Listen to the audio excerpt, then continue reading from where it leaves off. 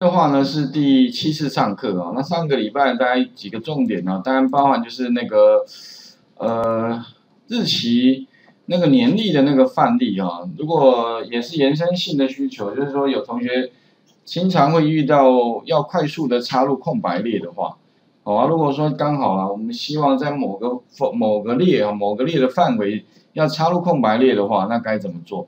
啊，当然，如果你用不用回圈的方式来做啊，变你就是要自己手动。那当然，如果列数很多的话，哦，那相对当然是非常浪费时间的事情。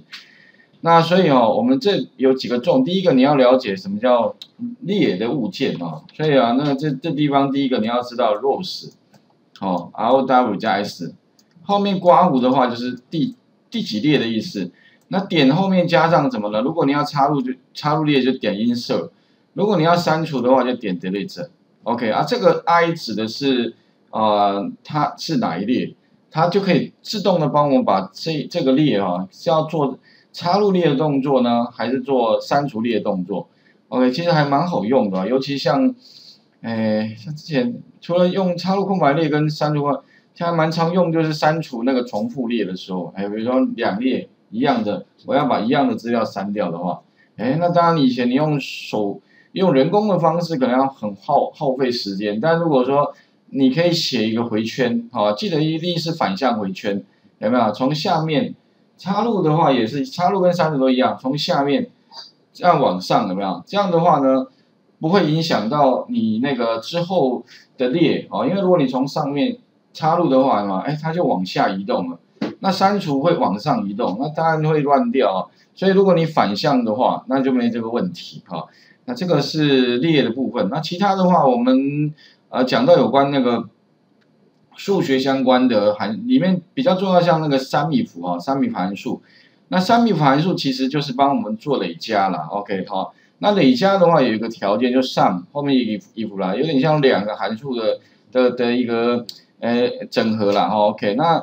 如果你今天不用那个呃这个 Excel 函数的话，其实 VBA 里面也有这种累加的概念，哦，也就是将来如果说你你假设资料量更大，好，或者是说呢哈，像那个三米符它只能够单一个条件，那如果说你有多条件的话，像我们就遇到就是如果宜兰或苗栗的话，那两个条件呢，其实相对哦用 VBA 可能会比较简单一些。或者甚至资料量更大的时候呢，还是建议用 VBA 比较适合。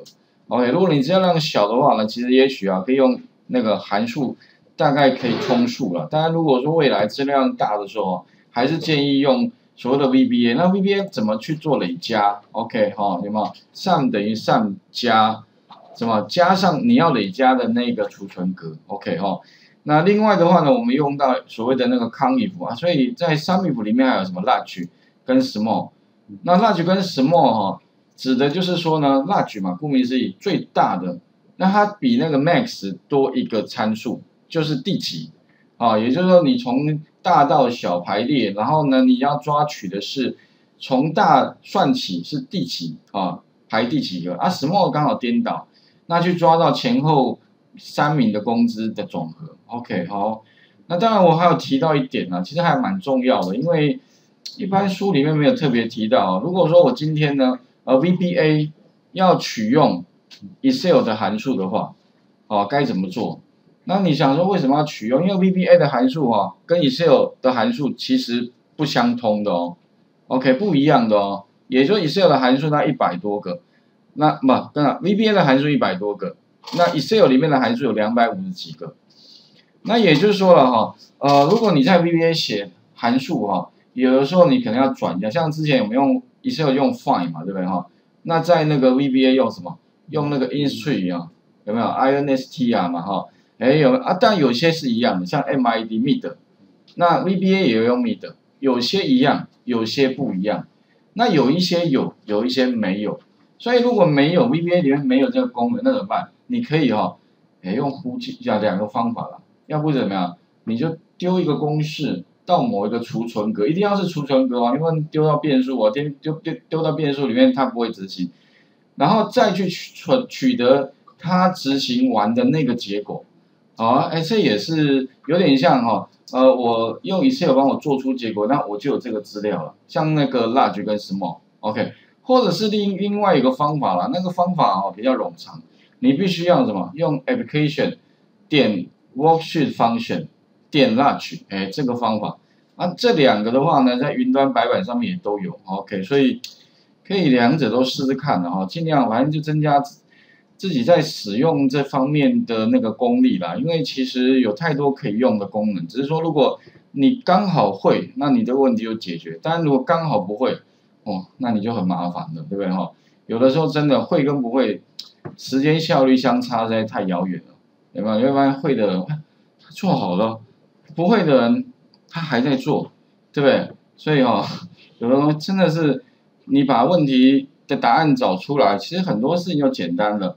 另外的话，我们在用什么抗的相关函数去解决所谓的两个范围的比较，像黑名单筛选，有没有？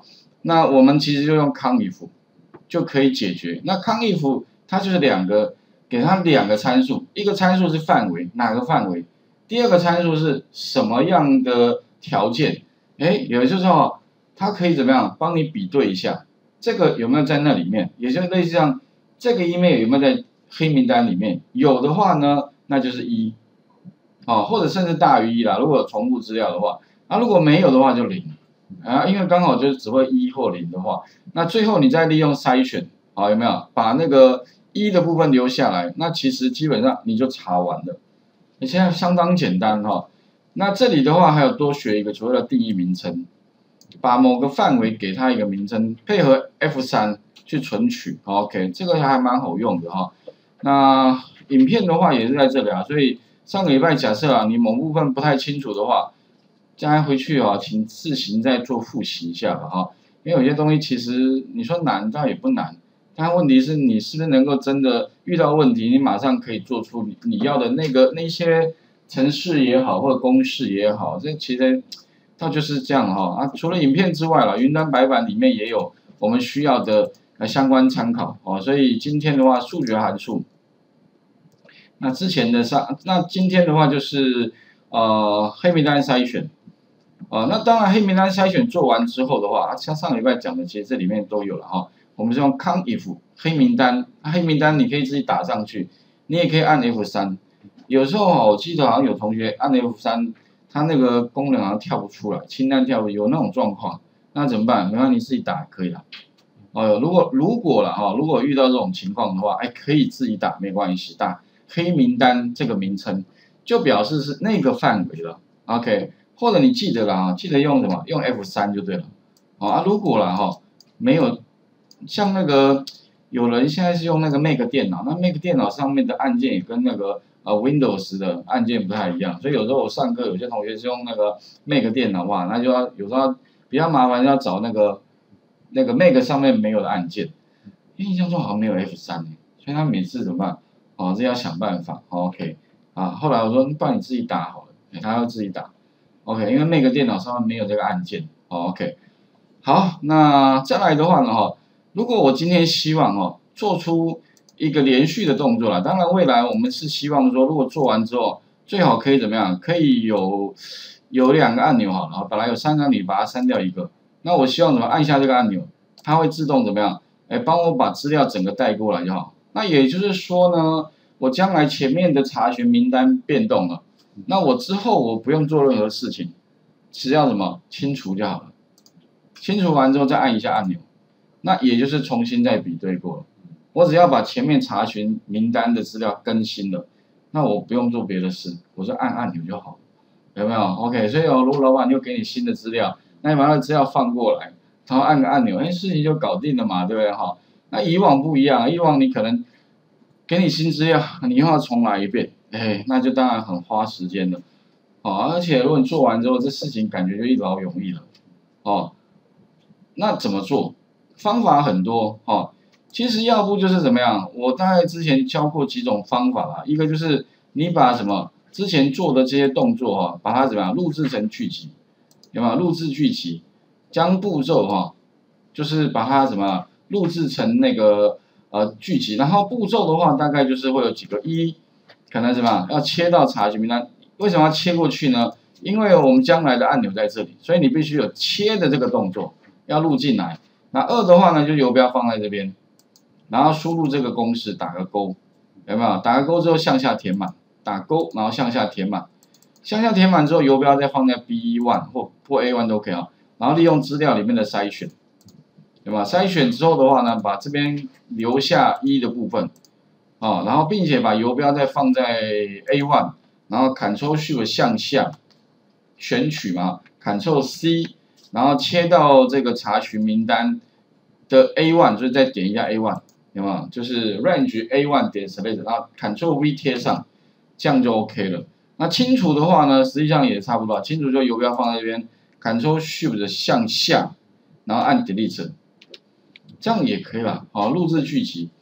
可是哦，另外当然呢，我要讲的就是说，其实录制剧集其实也 OK。可是哈，录制剧集总会有一些，嗯，我觉得不是。不是太太好的地方，就是说啊，它录下来一定是按照你的什么滑鼠跟键盘的动作，有没有？就是反正它就是你键盘怎么敲，它就怎么把那个动作录下来。但是呢，哎，如果我今天希望哦，程式可不可以不要写这么多啊？写这么多，感觉好像不是很有效率。所以啊，其实我们可以怎么样？后面教各位哈，把程式再精简一下。可以让这个城市看起来更舒服一下，所以把城市假设了啊，我不要用录制的，我自己写的话，基本上哈，城市大概只有这样而已啊。哦，其实我我们刚我这个地方不是录制的哦，我这个是自己撰写的，哦，自己撰写按下去，大家就跑一下，OK 好，然后呢，结果就过来。那其实呢，如果自己撰写的话哦，OK，城市大概就是只有这几行。大概就一个回圈三行，再加一个筛选，再加一个把结果抠过来，其实就五行程式而已哦。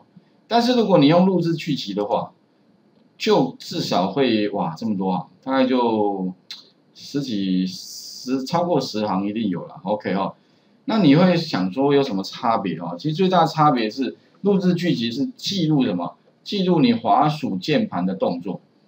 那如果你自己写的话，其实你不是去记录滑鼠键盘动作，你是去使用那个什么 VBA 里面的物件，去用它的物件去做那些事情，做完之后把资料也许看怎么样再转移到哎那个另外一个工作表。所以这里的话，后面其实可以学到什么，如何跨工作表运用哦，所以难度会比较高，待会再补充一下。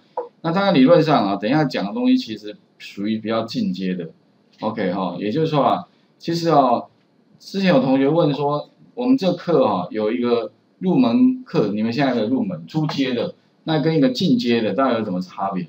那其实最大的差别，第一个哈，就是我们初阶基本上主要都在同一个工作表为主，有没有一个工作表？可是未来你的工作可能会有多个工作表，有没有？像我们现在这个案例啊，是跨工作表的。有没有？那如果是跨工作表，那要怎么处理？哦，这第一个就是多工作表的应用啊。比如说，常常常遇到就是，呃，如果你有一个工作表，你希望分割成不同的分类嘛？比如说按照按照业务人员分类，按照产品名称分类，你希望把它分割出去的话，哎，要怎么分割？对哈？然后合并的话怎么合并？比如说，你可以把它。分割出去也可以把它合并回来，好，第一个啦，就工作表的应用，多工作表。那第二个的话，就是说不止工作表，未来还有所谓的工作簿。工作簿就 Excel 档案，比如说你希望把什么，把工作表自动帮你存成很多个工作簿的话，或者合并回单一个工作簿的话，哎，要怎么做？哦，所以其实主要就是在往外延伸，不是只有那个单。一个工作表，OK，会是跨工作表应用。那另外还有什么？还有有关资料库的相关应用啊，包含就是说最常用到的，比如说像我要建一个查询系统，有没有？我有个输入关键字，自动帮我把资料调出来的功能哦。那要怎么做？其实 Excel 都已经可以了，但你可以用那个哦资料库，也可以直接把 Excel 当资料库，啊应应用起来还蛮广。还有第三个啦。